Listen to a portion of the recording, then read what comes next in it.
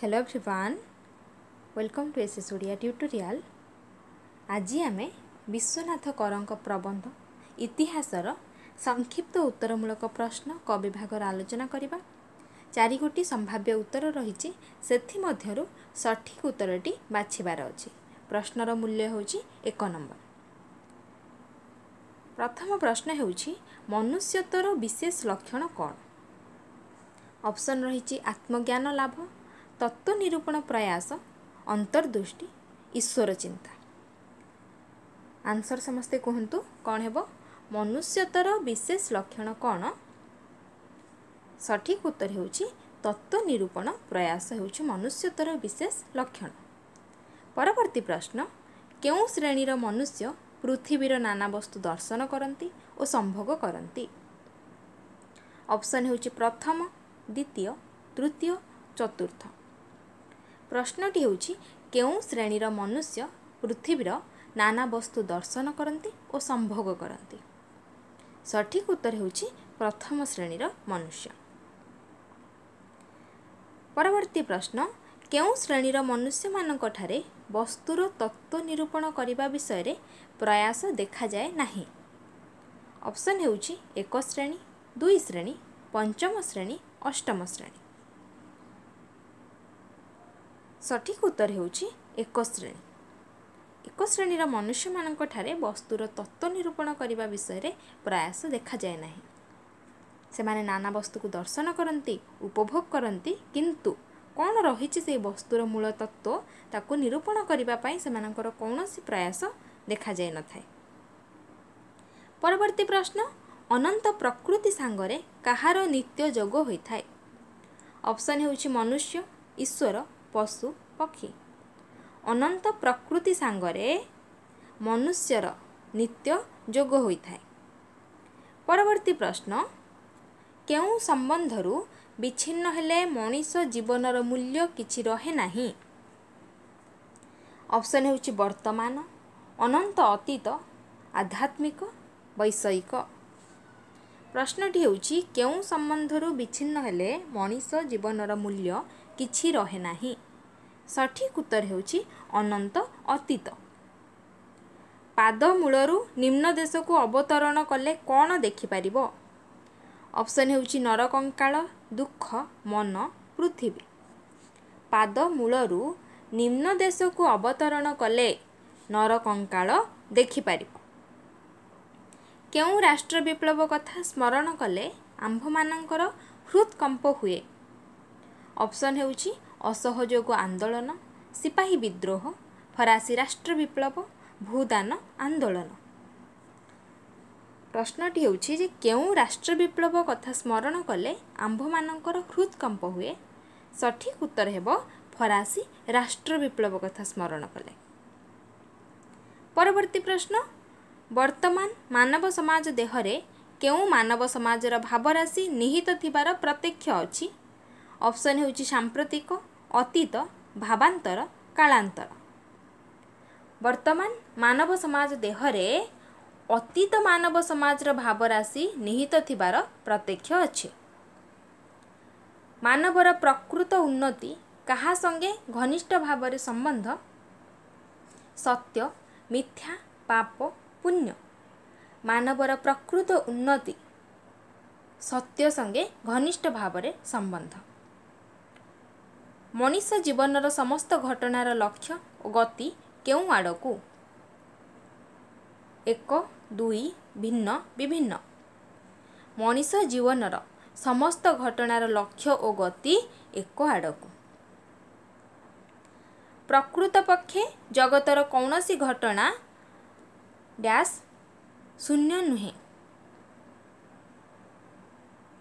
ଭାବ ଅର୍ଥ କାମ ମୋକ୍ଷ।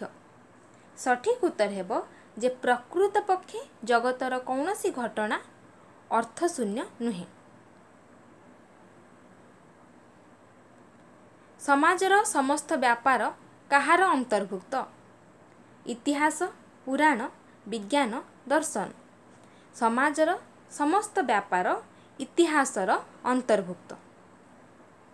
ବ୍ୟକ୍ତିଗତ ଜୀବନ ଇତିହାସକୁ ଆମ୍ଭେମାନେ କେଉଁ ଆଖ୍ୟା ପ୍ରଦାନ କରିଥାଉ? ଆତ୍ମଜୀବନୀ ଜୀବନଚରିତ ଆତ୍ମଲିପି ଜୀବନାୟନ।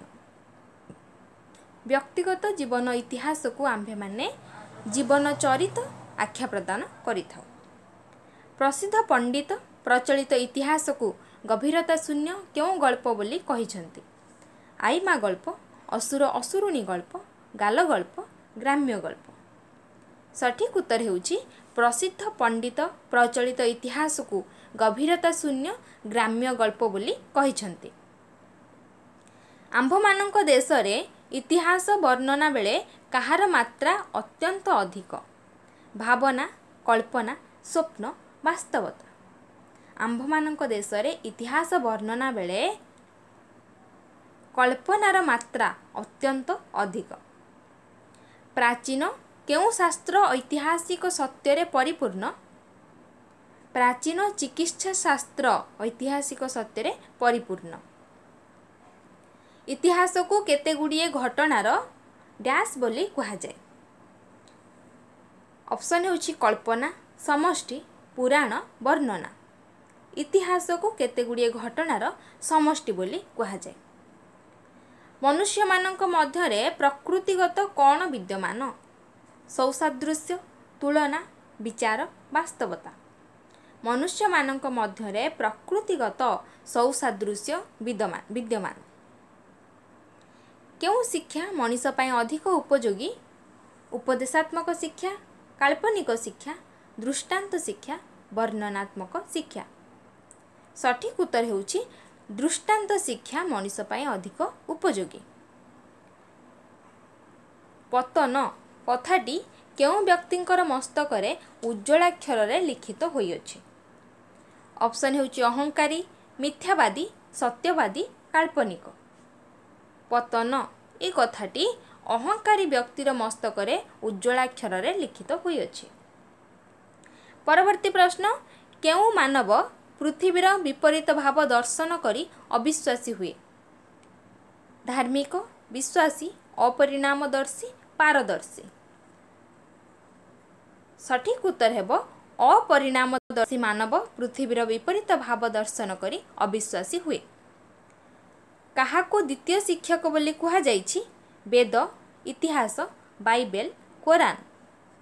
ଇତିହାସକୁ ଦ୍ୱିତୀୟ ଶିକ୍ଷକ ବୋଲି କୁହାଯାଇଛି। ପ୍ରୟୋଜନୀୟ ବସ୍ତୁ ଲାଭ ପାଇଁ କାହାକୁ କଷ୍ଟ ଓ ଯାତନା ଭୋଗ କରିବାକୁ ପଡ଼ିଛି?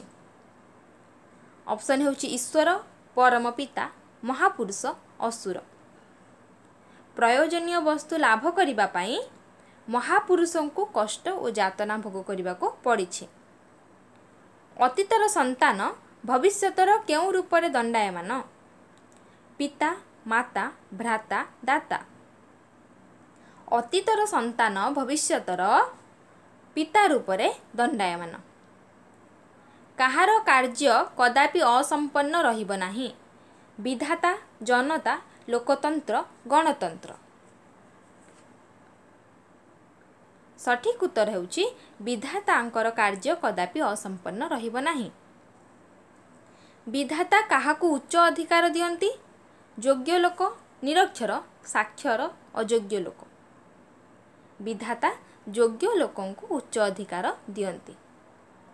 ଶେଷ ପ୍ରଶ୍ନ ଈଶ୍ୱର ଆମ୍ଭମାନଙ୍କ ଦେଶକୁ କେଉଁ ଅନୁରାଗ ହସ୍ତରୁ ଉଦ୍ଧାର କରନ୍ତୁ? ଅପସନ୍ ହେଉଛି ସରଳ ବିକୃତ ଅବସନ୍ନ ନିଜସ୍ୱ। ଈଶ୍ୱର ଆମ୍ଭମାନଙ୍କ ଦେଶକୁ ବିକୃତ ଅନୁରାଗ ହସ୍ତରୁ ଉଦ୍ଧାର କରନ୍ତୁ। ଏ ଥିଲା ମଲ୍ଟିପୁଲ୍ ଚଏସ୍ କୋଶ୍ଚିନ୍ ପରବର୍ତ୍ତୀ ସମୟରେ ଆମେ ଗୋଟିଏ ବାକ୍ୟର ଉତ୍ତର ଲେଖ। ଯେଉଁ ସମସ୍ତ ପ୍ରଶ୍ନ ରହିଛି ସେ ସମସ୍ତ ଆଲୋଚନା କରିବା। ଆଜିର ଆଲୋଚନାଟି ଏଇଠି ଶେଷ କରିବା। ଯଦି ଆପଣମାନଙ୍କୁ ଆଜିର ଆଲୋଚନା ଭଲ ଲାଗିଥାଏ ତାହେଲେ ନିଶ୍ଚୟ ଲାଇକ୍ କରନ୍ତୁ। ନିଜ ସାଙ୍ଗସାଥିମାନଙ୍କ ସହ ସେୟାର କରନ୍ତୁ ଏବଂ ଚ୍ୟାନେଲଟିକୁ ସବସ୍କ୍ରାଇବ୍ କରନ୍ତୁ। Thank you